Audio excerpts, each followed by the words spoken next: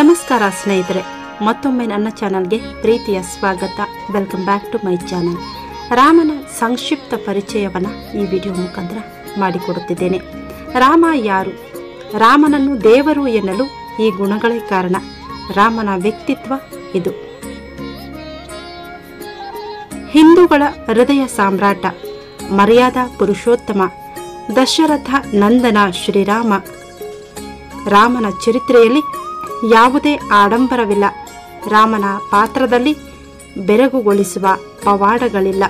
ಪ್ರಭು ಶ್ರೀರಾಮಚಂದ್ರನ ಪಾದಾರವಿಂದಗಳಿಗೆ ನಮಸ್ಕರಿಸುತ್ತಾ ಇಂದಿನ ವಿಡಿಯೋವನ್ನು ಪ್ರಾರಂಭ ಮಾಡುತ್ತಿದ್ದೇನೆ.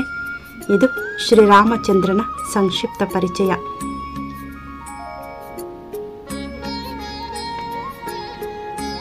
ರಾಮ ಹಿಂದೂ ಧರ್ಮದಲ್ಲಿ ಪ್ರಮುಖ ದೇವರು.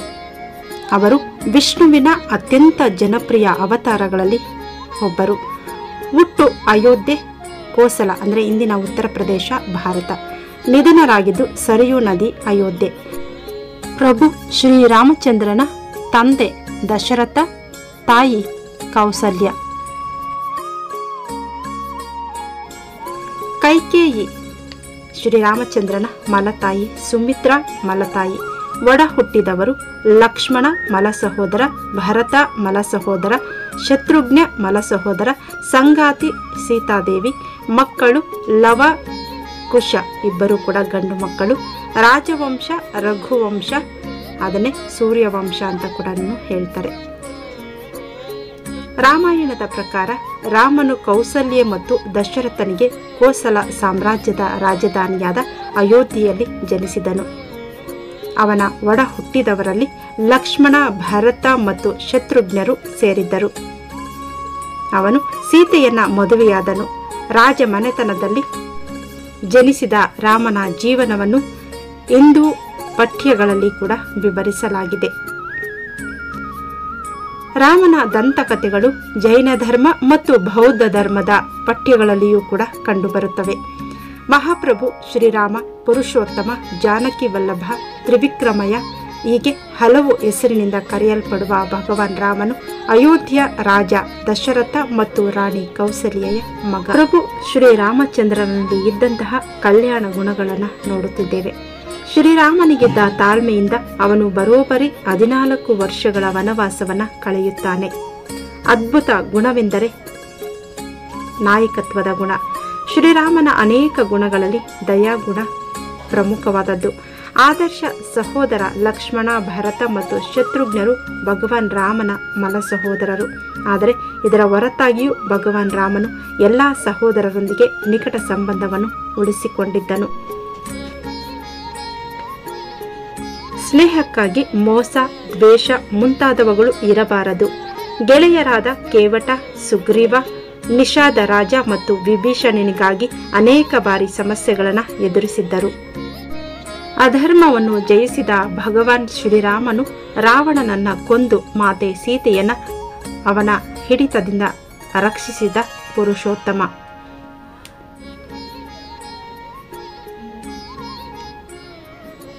ಶ್ರೀರಾಮನು ಸದ್ಗುಣಿ, ಪರಾಕ್ರಮಿ, ಸತ್ಯವಂತ, ವಚನ ಪರಿಪಾಲಕ. ಎಲ್ಲರ ಕಲ್ಯಾಣದ ಕಡೆ ಚಿತ್ತ ಹೊಂದಿದ್ದವನು, ಧರ್ಮವನ್ನ ಎತ್ತಿ ಹಿಡಿದವನು. ಆಕರ್ಷಕ ಮತ್ತು ಆಹ್ಲಾದಕರ ನೋಟವನ್ನು ಹೊಂದಿದವನು. ಉತ್ತಮ ಸ್ವರಹಿತರು, ಕೋಪದಿಂದ ಮುಕ್ತರಾದವರು. ಅಸೂಯೆ ಇಲ್ಲದ ಶ್ರೀರಾಮನು ದೇವತೆಗಳಿಗೂ ಇಷ್ಟ. ಎಂದಿಗೂ ಅಸಭ್ಯ ಭಾಷೆಯನ್ನು ಮಾತನಾಡಲಿಲ್ಲ. ಅವರು ಇತರರಿಗೆ ಏನು ಕೊಟ್ಟರು ಎಂಬುದನ್ನು ಎಂದಿಗೂ ನೆನಪಿಸಿಕೊಳ್ಳಲಿಲ್ಲ. ತನ್ನ ಶ್ರೇಷ್ಠತೆಯ ಬಗ್ಗೆ ಎಂದಿಗೂ ಯೋಚಿಸಲಿಲ್ಲ. ನಗುತ ಸಂಬಂಧಗಳನ್ನು ಪ್ರಾರಂಭಿಸುತ್ತಿದ್ದರು. ಸ್ವಾರ್ಥದ ಮಾತುಗಳನ್ನು ಆಡುತ್ತಿರಲಿಲ್ಲ. ಎಲ್ಲರಿಗೂ ಒಳ್ಳೆಯದನ್ನು ಬಯಸುವಾತ, ಟೀಕಿಸಲು ಬಂದವರಿಗೆ ನಿರಾಸಕ್ತಿ ತೋರಿಸಿ ಅವರ ತಪ್ಪು ತಿಳುವಳಿಕೆಯನ್ನು ಅಳಿಸಲು ಮೃದು ಭಾಷೆಯನ್ನು ಬಳಸುತ್ತಿದ್ದರು. ತನ್ನ ಶ್ರೇಷ್ಠತೆಯ ಬಗ್ಗೆ ಎಂದಿಗೂ ಯೋಚಿಸಲಿಲ್ಲ. ನಗುತ ಸಂಬಂಧಗಳನ್ನು ಪ್ರಾರಂಭಿಸುತ್ತಿದ್ದನು. ಸ್ವಾರ್ಥದ ಮಾತುಗಳನ್ನು ಆಡುತ್ತಿರಲಿಲ್ಲ. ಎಲ್ಲರಿಗೂ ಒಳ್ಳೆಯದನ್ನು ಬಯಸುವಂತ ಟೀಕಿಸಲು ಬಂದವರಿಗೆ ನಿರಾಸಕ್ತಿ ತೋರಿಸಿ ಅವನ ತಪ್ಪು ತಿಳುವಳಿಕೆಯನ್ನು ಅಳಿಸಲು ಅವನಿಗೆ ಮೃದುವಾಗಿ ಶಿಕ್ಷಣ ನೀಡುತ್ತಿದ್ದನು. ತನ್ನ ಜೀವಮಾನದಲ್ಲಿ ಸೀತೆಯ ನಂತರ ಬೇರೆ ಯಾವ ಸ್ತ್ರೀಯರ ಬಗ್ಗೆಯೂ ಯೋಚಿಸಿರಲಿಲ್ಲ. ಸಾಮಾಜಿಕ ಮಾನದಂಡಗಳನ್ನು ಮೀರಲಿಲ್ಲ. ಅವರು ಗಳಿಸಿದ ಹಣವನ್ನು ಎಂದಿಗೂ ವ್ಯರ್ಥ ಮಾಡಲಿಲ್ಲ. ಆದರೆ ಎಲ್ಲರಿಗೂ ಉಪಯುಕ್ತವಾದ ರೀತಿಯಲ್ಲಿ ಅವುಗಳನ್ನು ಖರ್ಚು ಮಾಡಿದರು. ತನ್ನ ಜನರಿಗೆ ಮಾತ್ರವಲ್ಲ, ಭೂಮಿಯ ಮೇಲಿನ ಪ್ರತಿಯೊಂದು ಜೀವಿಗಳಿಗೂ ಹಿತಚಿಂತಕರಾಗಿದ್ದರು. ಉನ್ನತ ಸತ್ಯದ ಸಂಪೂರ್ಣ ಅರಿವನ್ನು ಹೊಂದಿದ್ದರು. ತನ್ನ ಪಾದಕ್ಕೆ ಶರಣಾದ ಯಾರನ್ನಾದರೂ ರಕ್ಷಿಸುವುದು ಅವರ ಜೀವಮಾನದ ತತ್ವವಾಗಿತ್ತು. ಆ ವ್ಯಕ್ತಿ ತನಗೆ ಎಷ್ಟೇ ಹಾನಿ ಮಾಡಿದ್ದರೂ ಅದರ ಬಗ್ಗೆ ಯೋಚಿಸುತ್ತಿರಲಿಲ್ಲ. ಇನ್ನು ಪ್ರಭು ಶ್ರೀರಾಮಚಂದ್ರನ ಆಡಳಿತ ಹೇಗಿತ್ತು? ಶ್ರೀರಾಮ ಅತ್ಯುತ್ತಮ ಆಡಳಿತಗಾರ ಕೂಡ ಆಗಿದ್ದ ಆತ ಕಾಡಿನಲ್ಲಿರುವಾಗಲೇ ತನ್ನ ಸಹೋದರ ಭರತನಿಗೆ ಆಡಳಿತದ ಬಗ್ಗೆ ಕೆಲವು ಉಪಯುಕ್ತ ಸಲಹೆಗಳನ್ನು ನೀಡಿದ್ದ. ಈ ಸಲಹೆಗಳು ಈಗಿನ ಆಡಳಿತಗಾರರಿಗೂ ದಿಕ್ಸೂಚಿಯಂತಿದೆ ಎಂದರೆ ಅತಿಶಯೋಕ್ತಿಯೇನಿಲ್ಲ. ಕಾಡಿನಲ್ಲಿ ಭರತನು ಶ್ರೀರಾಮನನ್ನ ಭೇಟಿಯಾಗುತ್ತಾನೆ.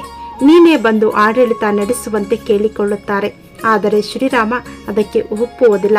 ಬದಲಾಗಿ ತನ್ನ ತಮ್ಮನಿಗೆ ರಾಜ್ಯಾಡಳಿತದ ಬಗ್ಗೆ ಕೆಲವೊಂದಿಷ್ಟು ಸಲಹೆಗಳನ್ನು ನೀಡುತ್ತಾನೆ.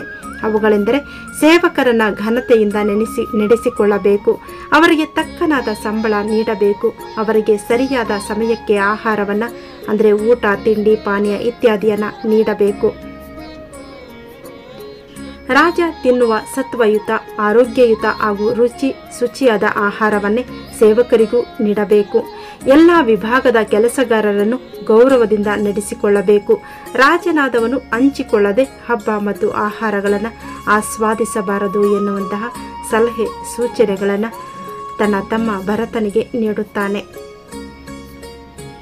ಪ್ರಭು ಶ್ರೀರಾಮಚಂದ್ರನ ಸಂಕ್ಷಿಪ್ತ ಪರಿಚಯವನ್ನು ನೋಡುತ್ತಿದ್ದೇವೆ. ಶ್ರೀರಾಮ ನವ, ನವಮಿಯ ಪ್ರಯುಕ್ತ. ಶ್ರೀರಾಮನ ಪ್ರಕಾರ ಮಂತ್ರಿಗಳು ಹೇಗಿರಬೇಕು?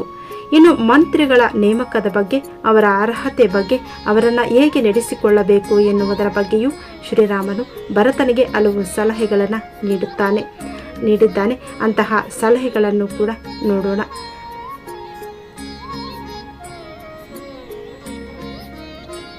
ಮಂತ್ರಿಗಳಿಗೆ ಯುದ್ಧ ಕಲೆಯ ಬಗ್ಗೆಯೂ ತಿಳಿದಿರಬೇಕು.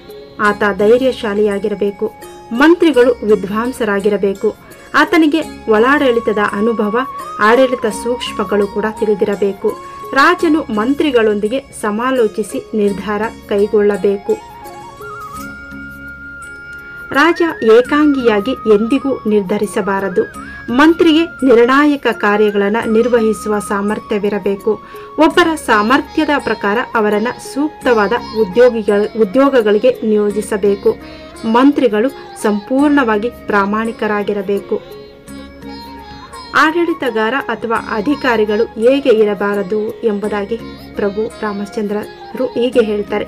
ಇನ್ನು ಆಡಳಿತಗಾರ ಹಾಗೂ ಅಧಿಕಾರಿಗಳು ಹೇಗೆ ಇರಬಾರದು ಎನ್ನುವುದನ್ನು ಶ್ರೀರಾಮ ತಿಳಿಸಿದ್ದಾನೆ. ಅವರ ಪ್ರಕಾರ,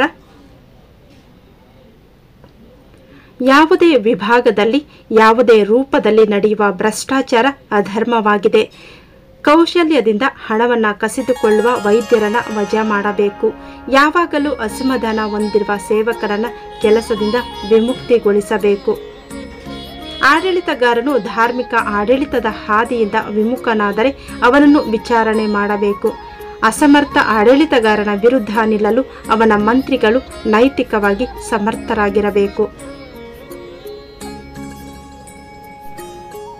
ಇನ್ನು ರಾಜನು ಮಾದರಿಯಾಗಿ ಯಾವ ರೀತಿಯಾಗಿ ಇರಬೇಕು? ರಾಜ ಆಡಳಿತದಲ್ಲಿ ಹೇಗಿರಬೇಕು ಅಂತಲೂ ಕೂಡ ಪ್ರಭು ಶ್ರೀರಾಮ ತಿಳಿಸಿದ್ದಾರೆ. ಅವರ ಪ್ರಕಾರ ಶೌರ್ಯ ಪ್ರದರ್ಶಿಸುವ ಸೈನಿಕರನ್ನ ಸಾರ್ವಜನಿಕವಾಗಿ ಸನ್ಮಾನಿಸಬೇಕು.